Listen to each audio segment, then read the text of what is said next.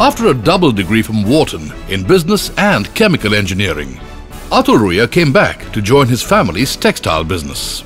In those days, Phoenix was a sick company. We had a huge fire. Thereafter, there was the Datta Samant strike that crippled Bombay's textile industry. As an outcome of these two, Phoenix Mills was a BIFR company, so it was not a very pleasant time.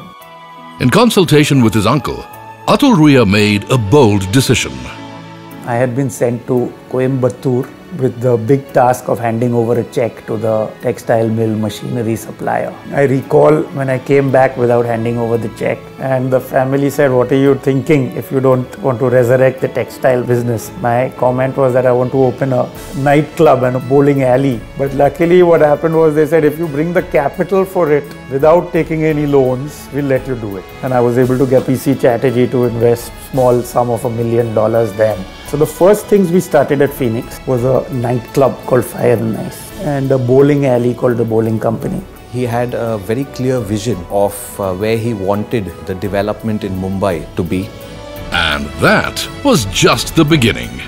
We developed the business plan for retail space as well and also for office space. But also we started leasing space and creating the shopping center. Shortly after, we built Palladium Mall and we built the St. Regis Hotel. As luck will have it, times were not good. Lehman happened and uh, very difficult to lease out. But we kept our head down and the mall has grown 30% every year, compounded thereafter. So we really raised the bar in terms of experience. At the same time, we embarked upon building very large malls across India. And what looked like a difficult business suddenly looks like an extraordinary business. Today, with eight malls, two hotels, 6 million square feet of operational retail space, 1.5 million square feet of office space, and an EBITDA of more than 750 crore rupees, Atul Ruia's journey is just beginning.